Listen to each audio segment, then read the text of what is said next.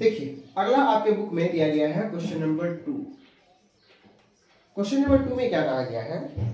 कि how many word with और without meaning can be form using all the letters of the word equation एक word दिया गया है इक्वेशन और उस इक्वेशन में जितने भी वर्ड है, उसे क्या करना है आपको?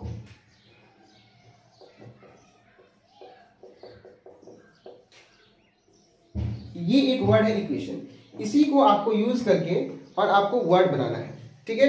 At a time so that the vowel and consonant occur together जहाँ पर जो वॉवेल है और कॉन्सोनेंट है, वो एक साथ जो है वो आ सके, ठीक है? मतलब कि वॉवेल जो है वो एक तरफ़ और कॉन्सोनेंट एक तरफ़। तो टोटल नंबर ऑफ़ लेटर कितने हैं? ये देखिए पहले।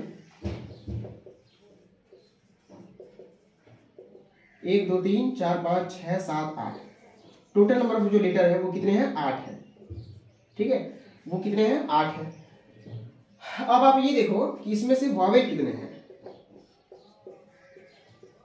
नंबर ऑफ़ वॉवेल और number of consonants number of vowel कितने हैं? तो वॉवेल यहाँ पर है एक, दो, तीन, चार, पाँच। पाँच क्या है? वॉवेल तो बाकी का तीन क्या होगा मेरा? कॉन्सोनेंट होगा।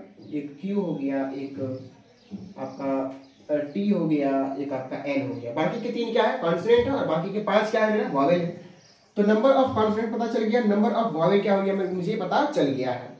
अब हम लोगों को इस टोटल यानी कि आठों से क्या करना है? एक वर्ड को तैयार करना है। तो आप ये देखिए, तब देखिए five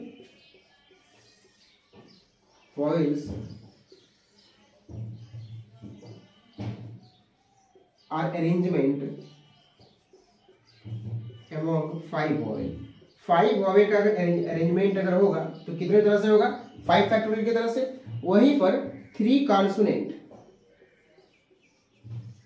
three consonant are arrangement among three consonant तीन में से अगर तीन का कॉन्सोनेंट अगर किया जाए तो कितना होगा? थ्री फैक्टोरियल है ना? तो ये तो मेरा हो गया अरेंजमेंट कि पाँच वॉवेल का अरेंजमेंट जो होगा, वो कितने तरह से होगा? फाइव फैक्टोरियल तरह से, ठीक है? और फाइव थ्री कॉन्सोनेंट अगर अरेंज करेंगे तो कितने तरह से होगा? थ्री फैक्टोरियल की तरह से होगा, ठीक है? तो ये तो मेरा कहीं ना कहीं क्या हो गया मेरा? अरेंजमेंट हो गया। लेकिन अब ये देखो कि जैसे कि मान के चलो कि यहाँ पर वॉवेल होगा, ठीक है? पाँच वॉवेल यहाँ पे है। यहाँ पे कितने वॉवेल है? पाँच। One two three four five और यहाँ पे कॉन्सोनेंट है तीन, ठीक है? तो ये है कॉन्सोनेंट वाला डब्बा, ये है वॉवेल वाला डब्बा। अब वॉवेल पाँच है कॉन्सोनेंट तीन है। अब इसको, इसमें कितने हैं? वॉवेल पाँच। तो इसको हम अरेंज कर सकते हैं फाइव फैक्टोरियल से। इसमें है कॉन्सोनेंट तीन। इसको हम अरेंज कर सकते हैं थ्री फैक्टोरियल से। लेकिन आपस में ये डब्बा को भी तो हम पलट सकते हैं। ये डब्बा को भी क्या कर सकते हैं? पलट सकते हैं। कितने फैक्टोरियल से? दो फैक्टोरियल जो यहाँ पे एक ये तो वॉवेल को इधर रखो और ये तो वॉवेल को इधर रखो। मीन्स के एक तो ऐसे रखो वॉवेल इधर कॉन्सोनेंट इधर, ये नहीं तो ऐसे रखो। तो दो तरह से कर सकते हैं। यानी कि अगर मैं आपस में अगर इसको अगर मैं अरेंज करता हूँ, ठीक है तब वहाँ पर क्या होगा? vowel and consonant